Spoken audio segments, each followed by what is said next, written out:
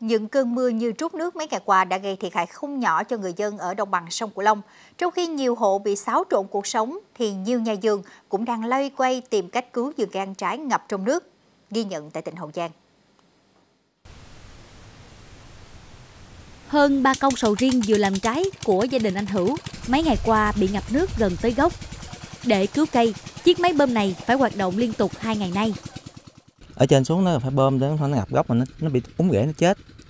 Mình phải bơm mấy em bơm hai ngày hôm qua ngập cũng gần tới gốc cả mét mấy nữa tới gốc. Gần đó hơn 50 gốc sầu riêng của ông Nam nước đã lé đé đến mặt liếp. Cầm cự được vài ngày nhưng đến nay nhà vườn này đã phải chuẩn bị sẵn máy móc để kịp thời tiêu thoát nước. Vì để lâu cây sẽ chết.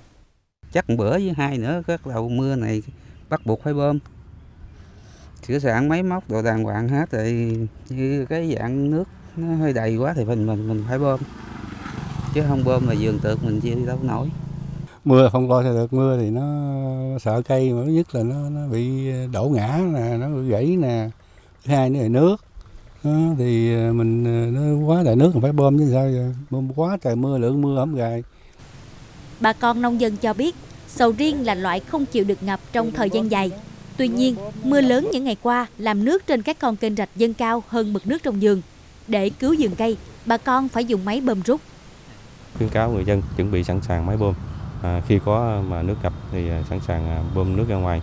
và Đồng thời cũng kiểm tra hệ thống đê bao an toàn để à, để kịp thời mưa chống chống thất thoát. Ngoài diện tích cây ăn trái bị ngập úng, mưa lớn trong những ngày qua đã ảnh hưởng đến hơn 20.000 hecta diện tích lúa thu đông đã xuống giống và khoảng 15.000 hecta lúa hè thu bước vào thời điểm thu hoạch. Hiện nông dân Hậu Giang đang tích cực bơm rút nước để cứu vườn cây và ruộng lúa.